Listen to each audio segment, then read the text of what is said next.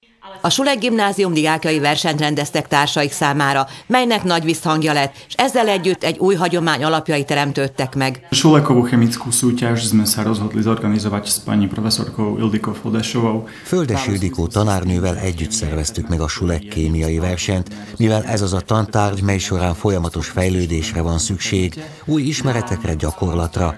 Zömében gyakorlati tudásról, illetve olyan ismeretekről van szó, melyeknek főiskolai tanulmányaik alatt hasznát veszik.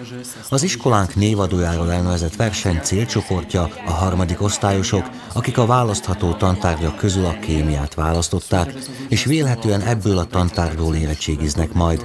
A versenyen a harmadikosok 30%-a vett részt, amit nagyon jó aránnak tartok, azt bizonyítja, hogy a kémia népszerű a gimnáziumban.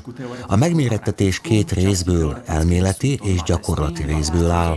Az elsőben két tesztet írnak, és ezzel azt szeretnénk felmérni, mennyit és milyen információkat szereztek tanulmányaik során.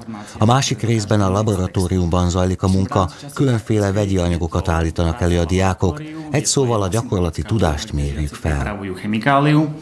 A potom sú to ešte doplnkové úlohy, ktoré súvisia priamo, respektíve priamo nadvezujú na praktickú časť. Arra is kíváncsiak voltunk, milyen feltételek adottak a kémiaoktatáshoz a gimnáziumban. S potešením môžem povedať, Örömmel nyugtázhatom, hogyha összevetjük a mi helyzetünket más iskolákkal, azt látjuk, hogy nagyon jók nálunk a feltételek, az elméleti és a gyakorlati szempontok alapján is. Laboratóriumunk kitűnően felszerelt.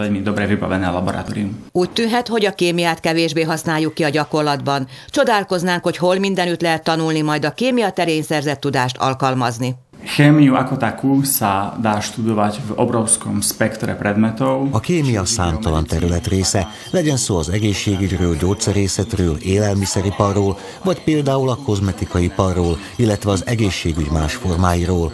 Elsősorban az a fontos, hogy az ember találjon kedvet a kémiához, szeresse, mert enélkül természetesen nem megy. És nem az a fontos, hogy mikor, hanem hogy mennyire szeretne foglalkozni vele.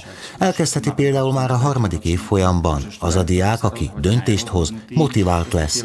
Komoly helyekre, komoly szintekre eljuthat.